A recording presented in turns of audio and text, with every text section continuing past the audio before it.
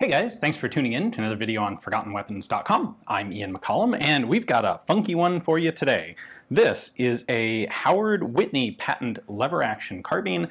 Uh, somewhere someone came up with the name Thunderbolt for it, although I'll be honest, I'm not really sure where that name came from. But it is a funky, interesting design. So basically, Uh, the Whitneyville Armory was kind of like the Amazon self-publishing of the mid-late 1800s. If you had a patented idea and you couldn't sell it to any of the big players who could, you know, do a proper job of putting it into mass production and marketing it and, you know, doing all the stuff like Colt or Remington or Smith & Wesson, well, you might be able to take your patent to Eli Whitney and the Whitneyville Armory and get him to make it for you.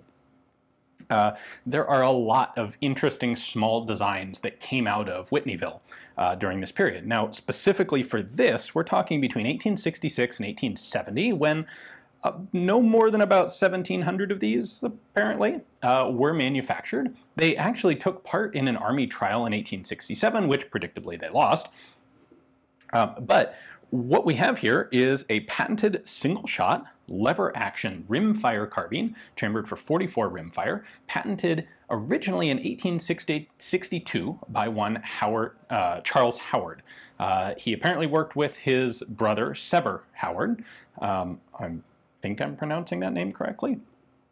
But they patented this originally in 1862. There were three follow-up patents in 1865 and 66 that refined the design, and then it was put into production by Whitneyville. So let's take a closer look at it. Whitneyville made this in three patterns, apparently. Um, aside from some of the prototypey stuff like the military trials musket, um, they made it as a rifle, a sporting rifle, and a shotgun. Now, the vast majority of ones that are actually surviving are rifles. Um, I have not seen a shotgun example. Uh, the difference between a rifle and a sporting rifle seems a bit vague. I think this is a sporting rifle because it has this buckhorn style of sight. There are about half of the ones that I've seen have what's more of a period military style sight with like three, three sight notches on a flip up ladder. We have a nice, actually fairly large brass front sight here, drift adjustable for windage, and a quite heavy profile barrel. This thing's it's a thick barrel and it's very much a front heavy gun. It is marked on both sides of the barrel here, manufactured for Howard Brothers by Whitney Arms Company, Whitneyville, Connecticut. And here on the left side, C. Howard patented uh, September 26th uh, and October 10th, 1865, and October 28, 1862. The original design as drawn up in the 1862 patent has set triggers and apparently was side loading where this, the actual production version, loads from the bottom. So check this out. You have basically a one finger lever. Uh, the control, this whole thing is petite uh, especially by today's standards. And if we open the lever, we can open up the loading port on the bottom here. So you've got the chamber right there. This whole thing is basically a long tubular action. There are two extractors, which you can see right there and there. So to load this, you would put a cartridge in with the rim behind those extractors. You would then close the lever, and as you're doing that, what you can see right there at the top is the firing pin. And once you get to this point, uh, there are actually two separate elements at work here. And you can see this at work right here under the lever. So there's a sheath on the outside of the bolt that actually has that firing pin. And that big spring, once I get to this point, the sheath stops. It is being held back by a sear connected to the trigger. And as I close the lever the rest of the way, I'm pushing the bolt forward and compressing that spring. Notice that when I do that, the firing pin point there stays in place and the bolt is going to close ahead of it. So you can't see it now, but inside here we have our bolt sheath with firing pin under spring tension or compressed spring right here. When I pull the trigger, it will snap forward and fire the cartridge. And I'm not going to dry fire it because this is a rim fire gun and I don't want to slam the firing pin into the breech face. But if I just hold it back a little bit like this, you can see, you can hear the click right there when, it, when the, uh, the sheath locks over the firing sear. And right there, it'll snap forward.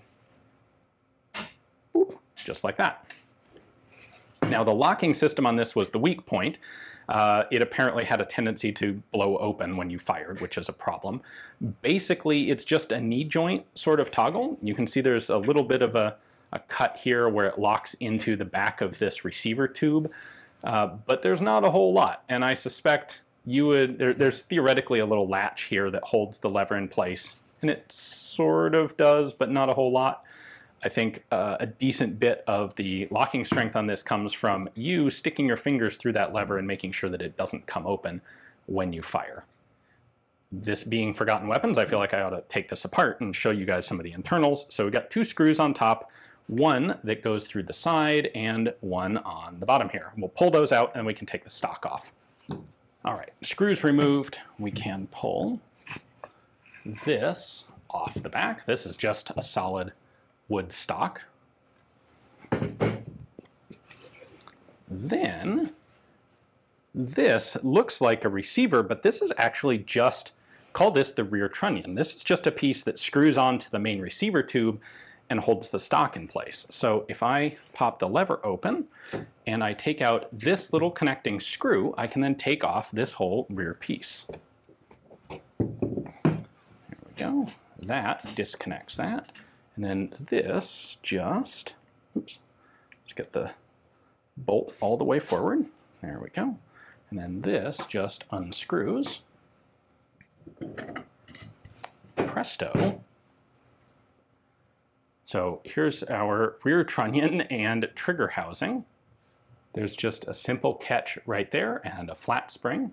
When I pull the trigger, that catch drops, which releases what is in effect a tubular striker.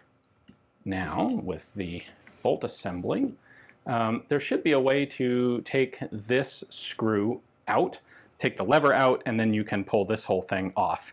Um, but to be honest, I'm not entirely clear on how to do that, and I think we're just going to leave it in for the time being. Uh, this is the actual striker component. The back end of the bolt itself is a stem that comes up here inside the spring and is threaded onto this nut that nut, there we go, comes out. And then we can take out the striker spring. Now at this point we've got the bolt, which is this guy right here, and we've got our striker right there. Uh, this, by the way, is just another one of these nuts that acts to uh, hold the front face of the spring. So don't worry about that little guy. Uh, this surface right back here is what the trigger holds onto. So when you charge this, the bolt goes all the way forward. This gets locked back in about this position, and when you pull the trigger, the spring punches that forward to fire. Uh, then when you go to extract it, you can see that these two extractor claws are going to pull the, the cartridge back uh, normally they would hit on the, the rear trunnion frame here and stop. So that's the inside.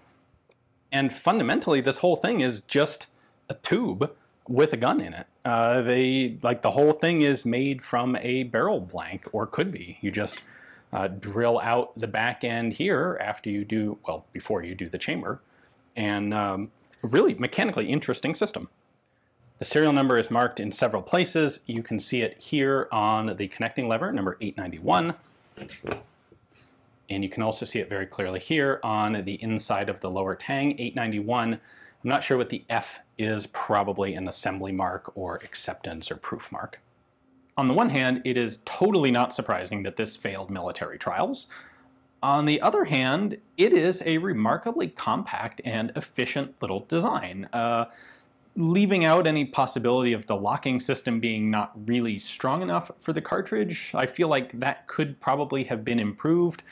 Uh, the real shortcoming of this is that it's just a single shot, and of course, we're talking 1866 and the next couple of years, there's a lot of surplus carbines coming out of the US military that are no longer needed. So you really don't have a whole lot of incentive to pay new gun prices for something like this when you can get some really similar sort of stuff uh, for a whole lot cheaper coming out of the you know the, the surplus auctions of the U.S. military and all the various resellers that that bought that stuff up and remarketed it. So uh, obviously not a successful design in the long term, but I think, a fairly interesting uh, and cool mechanical system. So hopefully you guys enjoyed the video as well. Thanks for watching.